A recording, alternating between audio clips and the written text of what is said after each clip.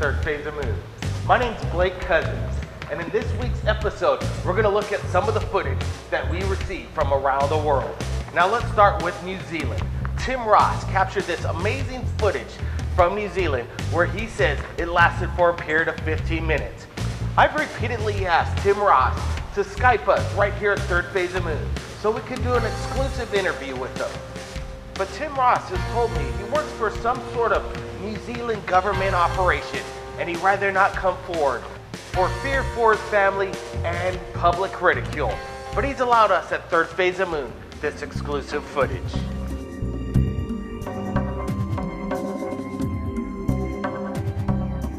Now, we'd like to invite the public and YouTubers from around the world to analyze this video for themselves and decide whether it's some kind of drone or UFO hovering over the New Zealand skies.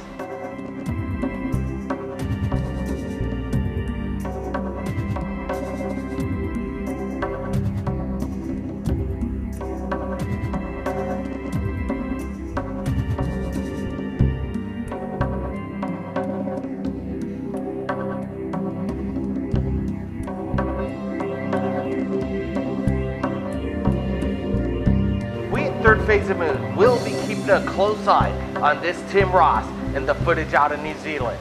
Now, we just received this crazy video to Third Phase of Moon. Amazing UFO doing incredible maneuvers over a secret military government base. Now let's take a look at it right now.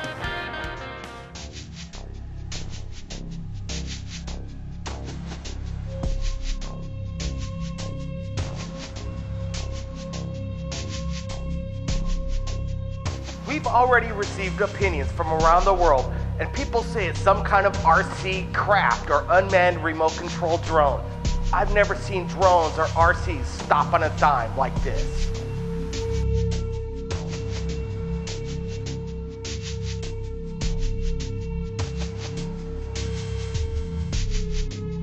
Recently, scientists were asked to conceptually design what an alien life form may look like from another planet.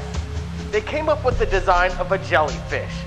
We zoomed this footage up very close, and there's some kind of tentacle below this craft.